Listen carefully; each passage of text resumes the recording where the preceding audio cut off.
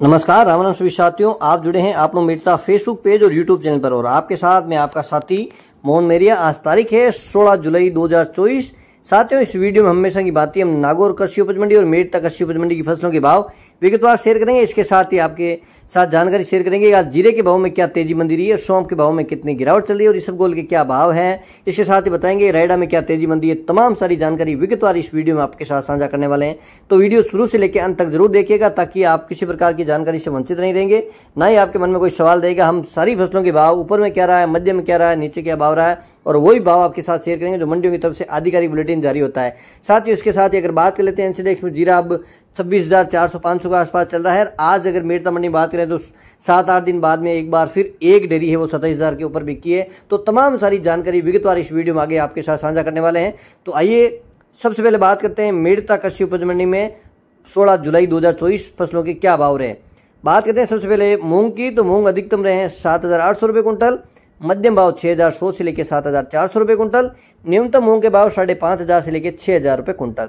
बात कर लेते हैं चना की तो चना अधिकतम भाव छह हज़ार दो सौ रुपये कुंटल, मध्यम भाव छह हज़ार सौ रुपये कुंटल, न्यूनतम भाव छह हज़ार रुपये कुंटल। साथियों, बात करते हैं सिंधी सुहा की तो सिंधी सुहा भी अधिकतम भाव रहे हैं ग्यारह हज़ार रुपये कुंटल, मध्यम भाव दस हज़ार पाँच सौ रुपये कुंटल, न्यूनतम भाव दस हज़ार रुपये कुंटल। साथियों, बात करते हैं सौंप की तो सौंप के भाव में लगातार है, गिरावट जारी है। और आज के अगर भावों की बात करें तो आज भी भावों में मंदी दिखने को मिली है। और बात करते हैं सौंप की अराइवल की तो आज अराइवल की अगर बात कर लेते हैं तो 600-700 बोरी के आसपास मंडी में आज सौंप की अराइवल देखने को मिली है। कल के मुकाबले आज सौंप की अराइवल थोड़ी सी ज़्यादा थी। भावों की अगर बात कर लेते हैं तो आज पाँच हज़ार से लेकर छः हज़ार दो सौ तीन सौ औसत भाव रहे। मंडी की तरफ़ से अधिकतम भाव छः हज़ार पाँच सौ, मध्यम भाव छः हज़ार रुपये कुंटल, न्यूनतम भाव पाँच हज़ार रुपये कुंटल। साथियों, बात करते हैं गंवार की। तो गंवार अधिकतम रहा है पाँच हज़ार एक सौ साठ रुपये कुंटल, मध्यम भाव चार हज़ार नौ सौ पचास रुपये कुंटल, न्यूनतम भाव चार हज़ार आठ सौ रुपये कुंटल। साथियों, अब बात करते हैं इसब गोल यानी घोड़ा जीरा की। बात कर लेते हैं अराइवल की तो पाँच सौ छः सौ कट्टे के आसपास इस सब गोल की अराइवल देखने मिली है। और आज भावों की अगर बात कर लेते तो स्टैंड है, कल के जितने भाव बने हुए हैं। अधिकतम भावों की बात कर लेते हैं तो तेरह हज़ार रुपये कुंटल, मध्यम भाव साढ़े बारह हज़ार रुपये कुंटल न्यूनतम भाव ग्यारह हज़ार रुपये कुंटल। ये इस सब गोल यानी घोड़ा जीरा के भाव थे। बात करते हैं साथियों, अब तारामीरा की। तारामीरा अधिकतम रहा है चार हज़ार आठ सौ रुपये कुंटल, मध्यम भाव चार हज़ार छः सौ पचास रुपये कुंटल, न्यूनतम भाव चार हज़ार छः सौ रुपये कुंटल।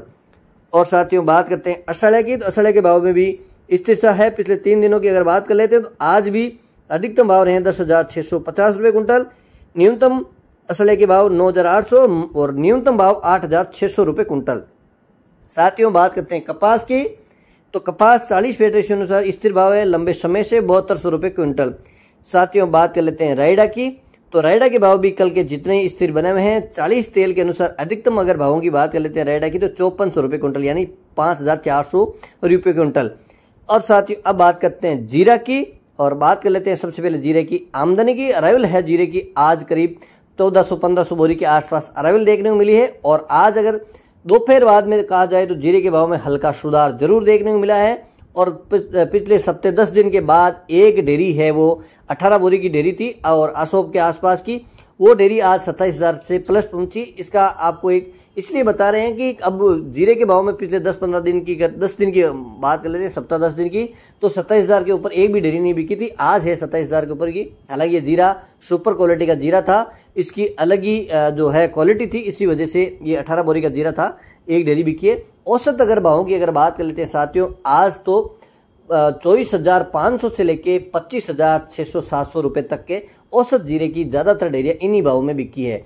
कुछ एक डेरिया छब्बीस हज़ार, साढ़े छब्बीस हज़ार भी बिकी है, जिनकी क्वालिटी अलग थी। बाकी औसत भाव मैंने आपको बताया। साथ ही औसत भाव को आप हमेशा मानिए, साढ़े चौबीस हज़ार से लेकर पच्चीस हज़ार छः सौ, सात सौ रुपये के बीच के आज जीरे के भाव थे। तो जीरे के जिस प्रकार एनसीडेक्स की अगर बात कर लेते हैं तो एनसीडेक्स आज थोड़ा सा पचास साठ ऊपर नीचे चल रहा था। एनसीडेक्स अगर बात कर लेते हैं तो साढ़े छब्बीस हज़ार के आसपास एनसीडेक्स में बना हुआ जीरा। और हाजिर में भी जिस प्रकार की क्वालिटी बढ़िया क्वालिटी का जीरा आज भी ऊपर के भाव में बिकता है। अब देखा जाए तो साथियों, अगर एक्सपर्ट की माने तो जीरा अब इससे ज़्यादा नीचे जाता नज़र नहीं आ रहा है। लोगों की अगर राय माने, अगर एक्सपर्ट जो उनका अनुभव है, उनके अनुसार जीरा यहीं तक स्टैंड करता नज़र आएगा। इससे नीचे जाने की संभावनाएँ कम बनती है। अब ऊपर के भाव कब तक बढ़ेंगे, ये आगामी दिनों में किस प्रकार से डिमांड बढ़ेगी, हालाँकि धैर्य ज़रूर रखें और अच्छे भाव आए उसमें अपनी फ़सल निकालनी चाहिए। कम से कम आधी फ़सल तो निकालनी चाहिए। साथियों, ये थे मिड़ता मंडी के भाव। बात कर लेते हैं अब नागौर कृषि उपज मंडी की फ़सलों के भाव। नागौर मंडी में सबसे पहले बात करते हैं दाना मेथी की। दाना मेथी पाँच हज़ार से लेकर अधिकतम पाँच हज़ार तीन सौ रुपए कुंटल। तारा मीरा साढ़े चार हज़ार से लेकर अधिकतम चार हज़ार सात सौ पचहत्तर रुपए कुंटल। सरसों चार हज़ार छह सौ से लेकर अधिकतम पाँच हज़ार चार सौ रुपए कुंटल। इसबगोल यानी घोड़ा जीरा ग्यारह हज़ार से लेकर ऊपर में तेरह हज़ार रुपए कुंटल। साथियों, बात कर लेते हैं सौंप की। सौंप साढ़े पाँच हज़ार से लेके अधिकतम सात हज़ार रुपए कुंटल। बात करते हैं साथियों, जीरा की। तो जीरा है बाईस हज़ार से लेके ऊपर में छब्बीस हज़ार चार सौ रुपए कुंटल और बात करते हैं गंवार की तो गंवार है चार हज़ार छह सौ से लेके पाँच हज़ार एक सौ पचास रुपए कुंटल और अंत में बात करते हैं मूंग की तो मूंग है साढ़े छह हज़ार से लेके अधिकतम सात हज़ार नौ सौ पचास रुपए कुंटल तो साथियों, मेड़ता और नागौर कृषि उपज मंडी की फ़सलों के भाव विगतवार आपके साथ शेयर किए हैं। उम्मीद करता हूँ कि जानकारी आपको अच्छी लगी। अच्छी लगी तो वीडियो को लाइक भी करिएगा, पेज को फॉलो भी करिएगा, यूट्यूब चैनल को सब्सक्राइब ज़रूर करिएगा। एक बार पुनः आपके साथ जुड़ेंगे। जब तक जय जवान जय किसान।